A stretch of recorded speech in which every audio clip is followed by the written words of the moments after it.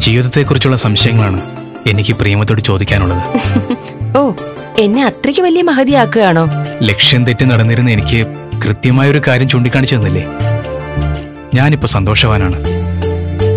എന്റെ അച്ഛനും അമ്മയും സന്തോഷമുള്ളവരാണ്. അതിന്റെ കാരണം പ്രിയമതയാണ് അന്ന് തോന്നിയ ദേഷ്യത്തിന് ഞാൻ എന്തൊക്കെയോ വിളിച്ചു പറഞ്ഞു. അല്ലാതെ എന്ത് ഒരു കാര്യം ചെയ്യും.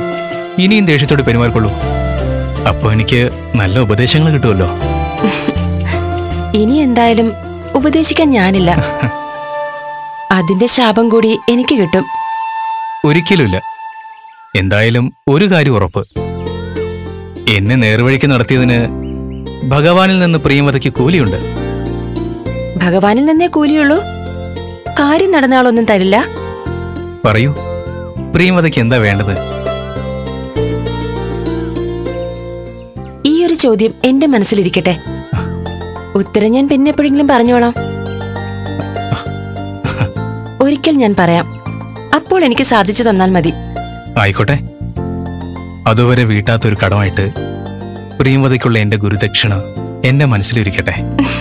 ഗുരുദക്ഷിണയോ? എനിക്കോ? ദക്ഷിണ തരാൻ തന്നെയാണ് എന്റെ തീരുമാനം. കേൾക്കാൻ നല്ല രസമുണ്ട്. നടക്ക.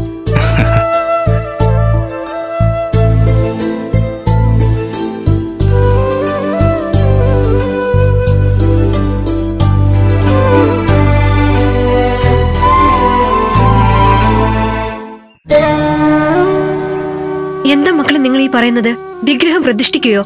അതും നമ്മളുടെ വീടിനകത്ത്? അത് ചെയ്യാനേ പാടില്ല. പ്രേമത ചേച്ചി പറഞ്ഞല്ലോ. ഗുരുവിന്റെ ശിഷ്യനും പറഞ്ഞു. അവർക്കൊക്കെ നല്ല അറിവുള്ളതല്ലേ? അവരൊക്കെ വെറുതെ പറഞ്ഞതാവും. അങ്ങനെയൊന്നും ചെയ്തുകൂടാ. ദോഷമാണ്. എന്ത് ദോഷം? കുഞ്ഞിക്കൊരാൾ സമ്മാനം കൊടുത്തതല്ലേ? കുഞ്ഞി അത് തൊടുന്നതിൽ എന്തെങ്കിലും ദോഷമുണ്ടെങ്കിൽ അത് ഉണ്ടാവേണ്ടതല്ലേ? ഇതുവരെ ഉണ്ടായില്ലല്ലോ. അപ്പൊ പിന്നെ എന്താ? മോളെ കാര്യങ്ങളൊക്കെ മോൾക്കറിയാലോ. ഒരവസരം കിട്ടാൻ വേണ്ടി കാത്തിരിക്കുകയാണ് തമ്പ്രാക്കന്മാര്. ഇങ്ങനെ ഒരു കാര്യം വീടിനകത്ത് ചെയ്തു എന്നറിഞ്ഞാൽ മതി. തല വെട്ടിക്കളയും. അത് ശിവലിംഗം നമ്മുടെ വീട്ടിലല്ലേ ഇരിക്കുന്നത്? വേറെ അരി കാണാനാ? മല്ലിയമ്മ പേടിക്കണ്ടെന്നേ. എന്തു പറഞ്ഞാലും ഞാൻ ഇതിന് സമ്മതിക്കില്ല. നമുക്കിത് വേണ്ട.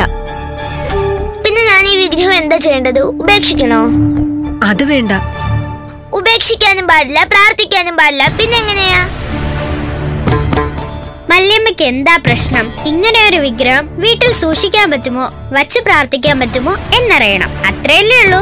ഞാൻ അച്ഛനോട് ചോദിക്കാം. അച്ഛൻ കുഴപ്പമില്ലെന്ന് പറഞ്ഞാൽ മല്യമ്മയുടെ പേടി മാറുമല്ലോ. വേദക്കുട്ടിയുടെ അച്ഛൻ പറഞ്ഞാൽ സമ്മതിക്കില്ലേ? ഭേദക്കുട്ടിയുടെ അച്ഛൻ പറഞ്ഞാൽ സമ്മതിക്കാം.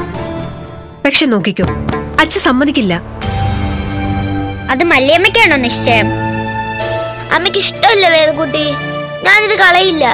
ആര് പറഞ്ഞാലും കളയില്ല.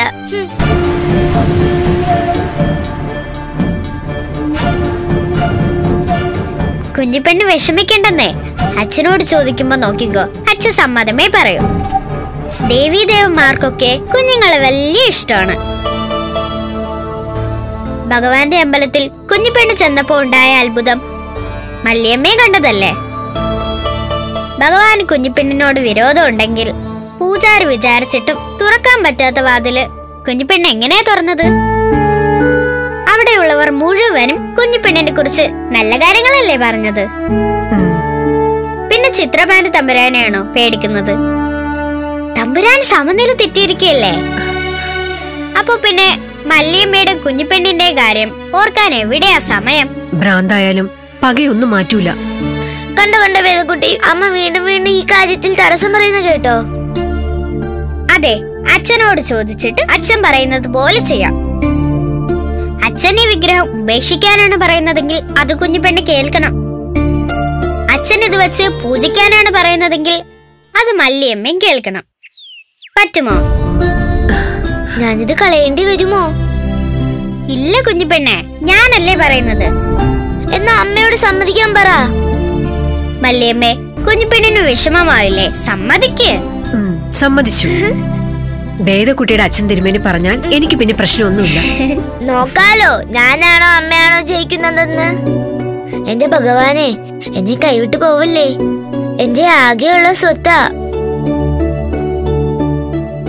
എന്റെ ഭഗവാൻ എന്നെ കൈവിട്ട് പോവില്ല.